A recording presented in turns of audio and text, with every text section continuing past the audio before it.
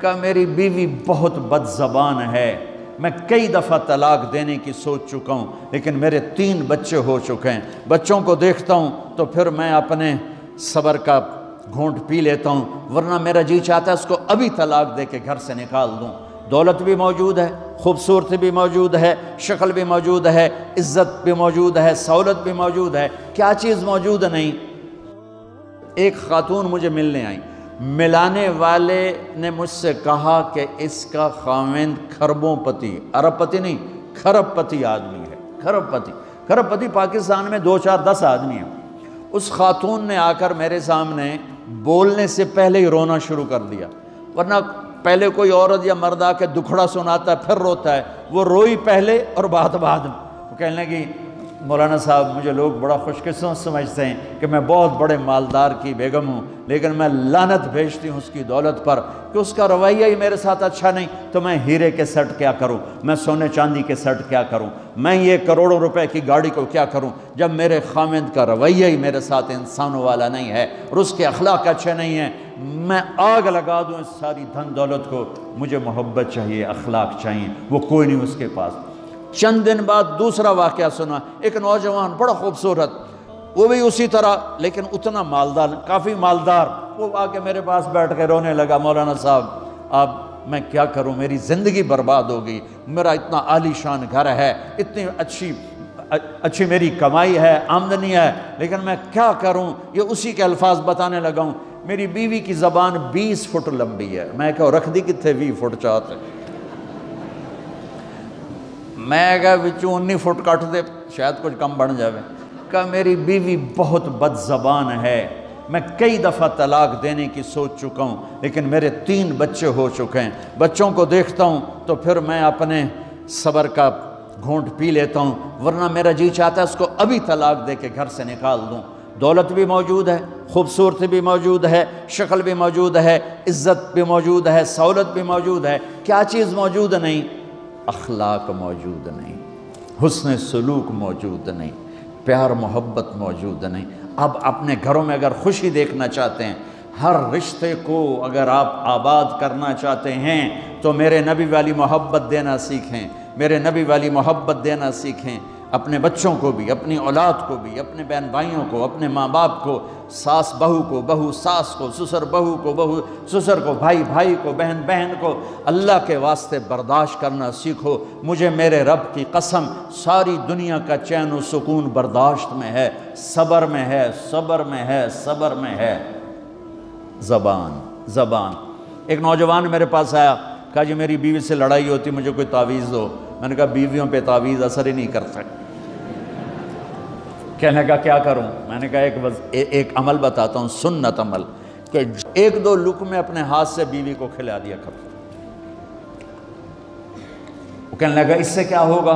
मैंने कहा तो तुम देखोगे फिर मैं पूछूँगा तुमसे क्या होगा। मैंने कहा ये सुन्नत अमल है इससे मोहब्बत बढ़ेगी। कोई आठ दस दिन गुजरे तो उसका फ़ोन वैसे आ गया हाल अवाल पूछने मेरा। तो मुझे अपनी बात याद आ गई। मैंने कहा, मेरी बात पे अमल किया था? कहने लगा नहीं। मैंने कहा, क्यों? कहने लगा शर्म आती। मैंने कहा, लड़ते हुए शर्म नहीं आती? कभी कोई कमज़ोर से भी लड़ता, औरत तो बेचारी कमज़ोर है। चलो, यहाँ की औरतें ताकतवर हैं, सुना है कि बड़ी शेरनियाँ हैं। और इनके खामिद सारे बकरी ये शेर हैं, उल्टा ही काम है यहाँ। औरतें शेर है, खामिद बकरियाँ हैं। तो चलो भाई, तुम मेहरबानी करके अपने खामदों को इज़्ज़त दो। और इनसे कहते अपनी बीवियों को इज़्ज़त दो, मोहब्बत से रहो। तो मैंने कहा, बेवकूफ़, कभी कमज़ोर के साथ भी कोई लड़ता है, इसमें तुम्हें शर्म नहीं आती और इसमें शर्म आती है। सुन्नत। मैंने कहा, चल, कर और मुझे बता। कोई दो घंटे बाद तो उसका फ़ोन आया। कब मौलाना, दोपहर का खाना था, मैंने अपनी बीवी के मुँह में लुकमा जो दिया ना तो उसका मुँह वहीं खुला रह गया। वो कहने लगी, तूने खुद तो किया नहीं, किसी ने तुझे बताया है? किसने बताया? तू बता, तेरे अंदर ये ज़र्फ नहीं है। तुम्हें ये सबक किसने पढ़ाया उसने कहा, मुझे ये सबक मौली तारक जमील ने पढ़ाया तो कहने लगा मेरी बीवी ने ऐसे अपनी झोली उठा ली। और कहा, मौली तारक जमीर अल्लाह उसके बच्चों को सलामत रखे, जिसने तुम्हें इंसान बनाया। मेरे भाई बहनों, सब्र करना सीखो। हमारी एक धोबन थी मासी शरीफा, मर गई बेचारी। तो वो आ गई मेरी बहन के पास। छोटा कद, मोटी डट्टी तो बड़ी लड़ाकी, पूरी शेरनी वो आके कहने लगी मेरी बहन को मेरी बहन तो चंगी तरह जानती है। बीबी है मेरी नौवा बड़िया लड़दियाँ मैंने कोई तवीज़ दे सारिया मेरिया नौकर बन जाना अब मेरी बहन को पता था कि सारा लड़ाई का तमाशा तो मासी शरीफा तो शुरू होंगे उदू तो होंगे ही कुछ नहीं बेचारियाँ मासूम जी छोटिया, छोटी उम्र दियाँ। तो मेरी बहन ने एक तावीज़ बनाया, और उसको यूँ रोल करके ना, उसको कमासी शरीफा हूँ जिसले तेरी लड़ाई हो ना इस तावीज़ तू चक मार के बह जाना तो छड़ना नहीं, जे तू छड़िया तू मर जाना। इन पक्का करके रखी। उसने क्या किया? मासी शरीफों को चुप करवाया। अब हमारा देहाती माहौल है, तावीज़ों की बड़ा अकीदत है। सही तावीज़ तो असर करते हैं, लेकिन अक्सर तो हेरा फेरी वाले बैठे हुए हैं सारे ही। तो इल्ला माशाल्लाह तो आठवें दिन वो आ गई, बीबी। तू तो बड़ा चंगा तवीज़ दिता, सारी लड़ाई ख़त्म हो गई। क्यों? कि मासी शरीफा चुप हो गई। तो मैं इन सारी मस्तूरात को ये तावीज़ दे के जा रहा हूँ। ये सब ले लो, ये मर्द भी ले लो, और जब कोई झगड़ा हो, ए, यहाँ रख के चुप करके बैठ जाना, आपकी लड़ाइयाँ ख़त्म हो जाएँ। अगर आप बोलते रहे तो फिर लड़ाई ख़त्म नहीं होगी। मेरे नबी की ज़िंदगी सीखो, माफ़ करना सीखो, मोहब्बत देना सीखो ऐसा ना हो कि दो आपस में बोलते ना हों। ऐसी बद अखलाक़ी से बचो। और आखिरी बात यह है, आप इस मुल्क में रहते हैं अब ये आपका मुल्क है। अगर आपके पासपोर्ट हैं तो ये आपका मुल्क है। इसको, इसके कानून को इज़्ज़त दो। इसके कानून को एहतराम दो। यहाँ की गवर्नमेंट के साथ मुझे पता चला है कि बहुत से लोग हैं, फ़र्ज़ी बीमार बन के वजीफ़े ले रहे हैं। ये हराम है, ये धोखा है, ये फ्रॉड है। जो हुकूमत आपकी इतनी हमदर्द हो कि घर बैठे आपको वजीफ़ा पहुँचाए, आपके बच्चों के वजीफ़े लगाए, आपके वजीफ़े लगाए, उन्हीं के साथ धोखा करना है। उन्हीं को, उन्हीं के साथ फ्रॉड करना है। अल्लाह की कसम, ये आप अपने साथ फ्रॉड कर रहे हैं। ये आप अपनी ज़ात को धोखा दे रहे हैं। इनको नहीं धोखा दे रहे, आप अपने आप को धोखा दे रहे हैं। एक सरदार जी रेल में चढ़ा, हँसी जाए हँसी जाए। लोगों ने पूछा, सरदार जी बड़े हंस रहे हो? कहने लगा, रेलवे वालों के साथ आज बड़ा फ्रॉड किया, चक्कर का दे दिया। रेलवे को चक्कर दे दिया है।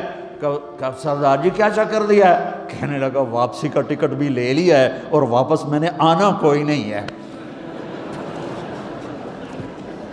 मैं क्या सरदार जी अपने आप में चक्कर देता है तुसी तो जितनी दो नंबरी करने वाले हैं ये अपने आप को चक्कर देने वाले हैं अल्लाह के वास्ते उस हुकूमत का ना टैक्स चुराओ न ऐसी दो नंबरी करो ना यहाँ की बच्चियों को धोखा देकर कागज़ बनाने के लिए शादियाँ करो। इस ए, जब जब अंग्रेज़ों की हुकूमत थी इंडिया पर तो दिल्ली में एक वो पिक पॉकेट रहता था जेब कतरा। उसका चेला शाम को दो रुपए लेकर आया। तो उसने उसको थप्पड़ मारा। सारे दिन में दो रुपए। वो कहने लगा, उस्ताद, आज बड़ा माल मारा था। एक गोरे की जेब काटी थी। बहुत पैसा था। जब मैं चार कदम चला, सुनना ज़रा, उस ज़माने के चोर का ईमान सुनना। कहने लगा, जब मैं चार कदम चला तो मुझे ख्याल आया, अगर क़्यामत के दिन ईसा सलाम ने मेरे नबी को गिला दे दिया कि आपके उम्मती ने मेरे उम्मती की जेब काटी थी तो मेरे नबी को शर्मिंदा होना पड़ेगा।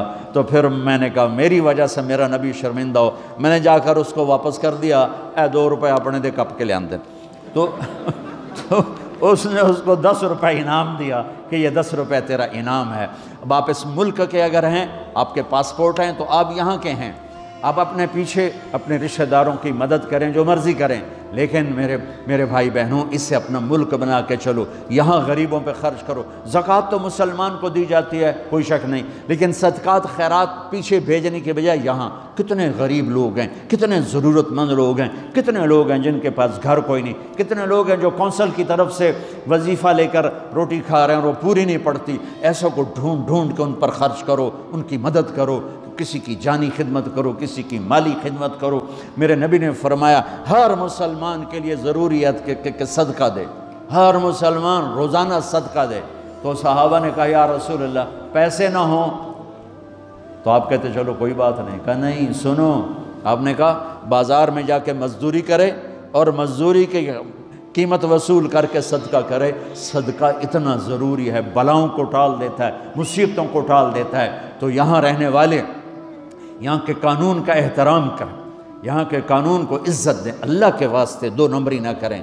ध्यानदारी से चले, मेरे नबी ने फरमाया, मेरा उम्मती हर गुनाह कर सकता है, दो कभी नहीं करेगा, एक झूठ कभी नहीं बोलेगा, एक धोखा कभी नहीं देगा। तो अल्लाह के वास्ते धोखे फ्रॉड से चलें। कहीं आप लड़े हुए हैं, सुलह कर लें, प्यार मोहब्बत दें, माफ़ करें, अपने बच्चों को टाइम दें, इनको अच्छी तालीम दें, ये आला अहदों पर पहुँचें, आला जॉब पर पहुँचें ज़रूरी नहीं है कि तुम्हारी तरह मजदूरियाँ ही करें इनकी तालीम का। यहाँ स्कूल बनाओ यहाँ कॉलेज बनाओ अपने स्कूल बनाओ अपने कॉलेज बनाओ अपनी औलाद को अच्छी से अच्छी तालीम दो कि ये आगे चल के बड़े शोबों पर और बड़ी जॉब पर पहुँचें और तुम्हारे लिए इज़्ज़त बने बायस इज़्ज़त बने बायस इफ्तार बने।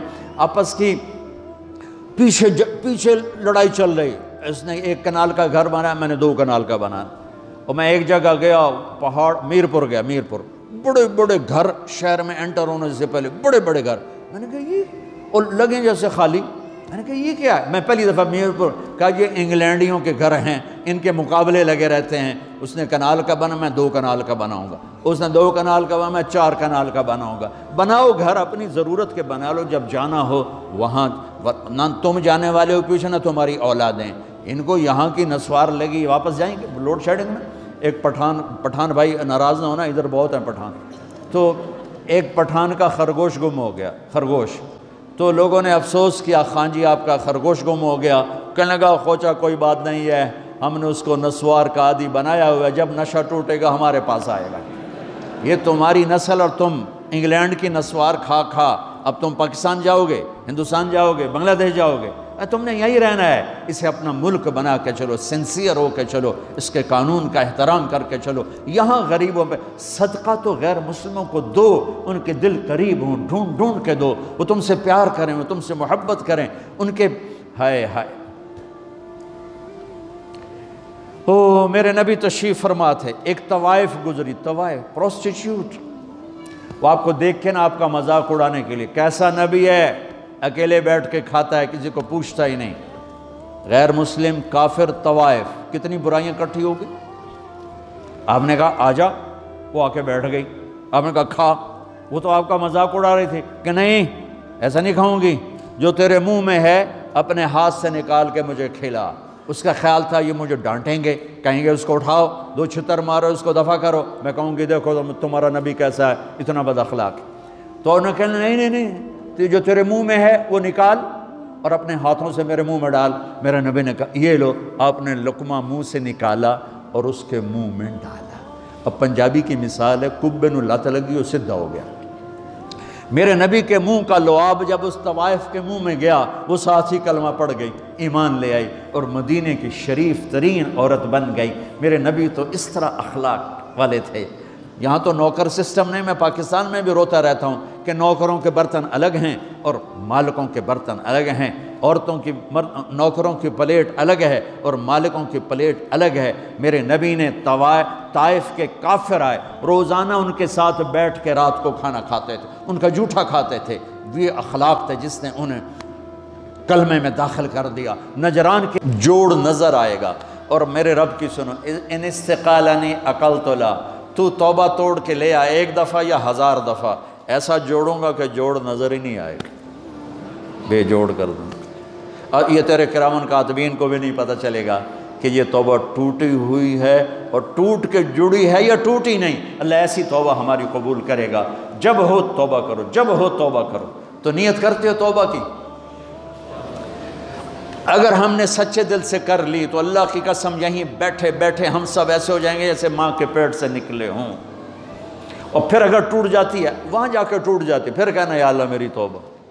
माँ तंग आके शायद बच्चे को मारने लग जाए, लेकिन मेरा रब कभी तंग नहीं पड़ता। जब भी झुकोगे, माफ़ करेगा। जब भी झुकोगे, माफ़ करेगा। अल्लाह ताला हमें तौफीक दे। तो मेरे साथ कहो, या अल्लाह, मेरी तोबा।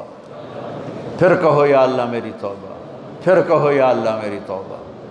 अब अगर दिल से है तो सब माफ़ हो गया। आप सबको मुबारक